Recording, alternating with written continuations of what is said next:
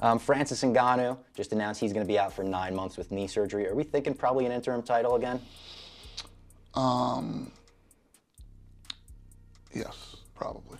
Do you like or dislike having to make interim title fights? Because I feel like the narrative is that like, oh, the UFC loves throwing an interim title on, but I feel like it might not be the same case with you. Like you'd probably just rather have Francis not have surgery and go and the his title, right? I'd rather they don't exist, but Yeah. you have to have them. Yeah. You know, they're, they're they're a necessary part of the business. You gotta have, when the champ comes back, you immediately fight a guy that's already you know fought the number one contender, and there's no question who's the number one guy when you got interim champ versus the champ.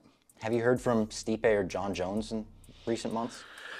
I personally haven't, but that doesn't mean that the matchmakers haven't Mm-hmm. talked to him, and I'm sure they have. Uh, but you know, those are two guys Yeah. you'd be looking at.